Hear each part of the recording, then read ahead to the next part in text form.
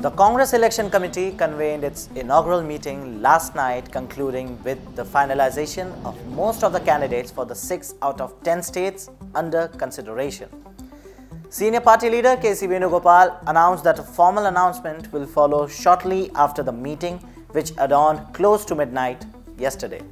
Venugopal informed reporters that seats from Kerala, Karnataka, Telangana, Chhattisgarh, Delhi, and Lakshadweep have been finalized with the formal announcement pending. Some more details are out now.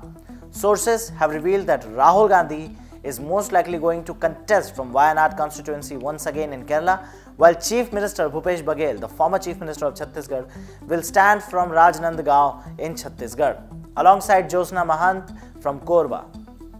Notably, key Chhattisgarh leaders are to be in the electoral fray for the first list.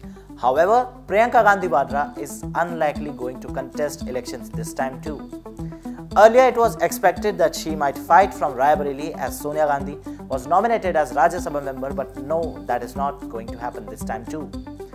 Furthermore, it has been disclosed that the party will contest 16 out of 20 seats in Kerala with former Union Minister Shashi Tharoor among the candidates. In Karnataka, state ministers would not be fielded with reports indicating their reluctance to contest the national elections.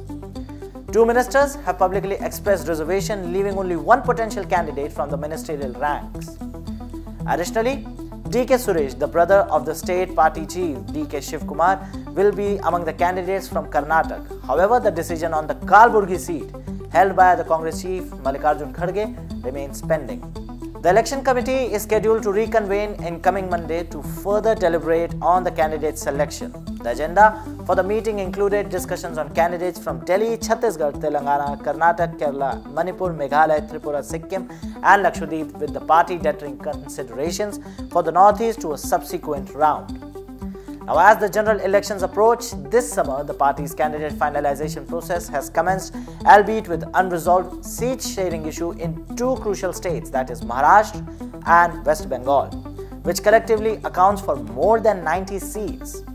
In addition, negotiations with allies like the Mahavikas Aghadi for the 48 seats in Maharashtra are ongoing, while efforts to address concern raised by the West Bengal Chief Minister and Trinamool Congress leader Mamta Banerjee regarding the seat sharing are underway following her decision to put her party's membership in Congress on hold due to dissatisfaction with the process. Will the India Alliance form a consensus before the Model Code of Conduct is implemented? That needs to be seen, but the report right now is that the first list of the Congress party is likely finalized and Rahul Gandhi is contesting from Wayanad. Subscribe to Oneindia channel and never miss an update.